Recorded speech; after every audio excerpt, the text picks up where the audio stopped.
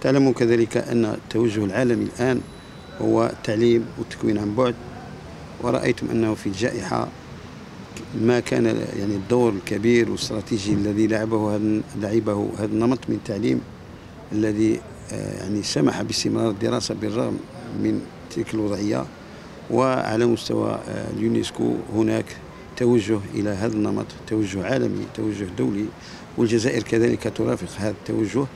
وتنخرط فيه.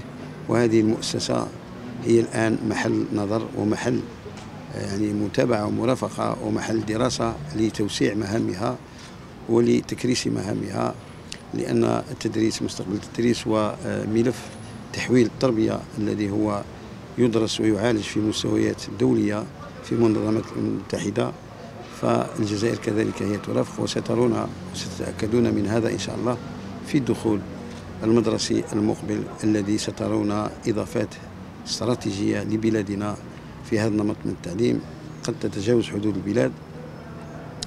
وكذلك لابد من آه، الإشادة بكل القائمين على هذه المؤسسة وكل الكوادر وكل يعني الذين يعملون فيها اليوم. وقلت أن عددهم هو 107333 موظف وموظفة إطار وكذلك من مختلف الأسلاك بمن فيهم آه، تابعين لديوان محو الأمية وتعليم الكبار.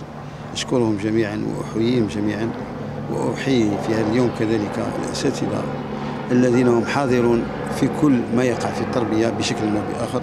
هم حاضرون كأساتذة هم حاضرون كمربين هم حاضرين كمؤطرين هم حاضرين كحراس وهم حاضرين كذلك كمصححين وكمداولين.